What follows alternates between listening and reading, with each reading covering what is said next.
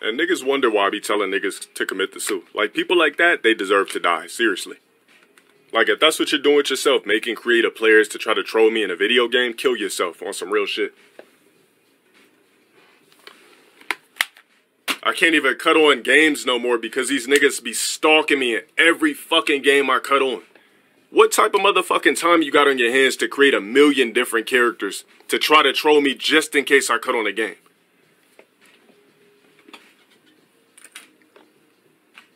That niggas could die tomorrow and nobody would give a fuck about you. Like, that's what you doing? That's what these niggas do with they self?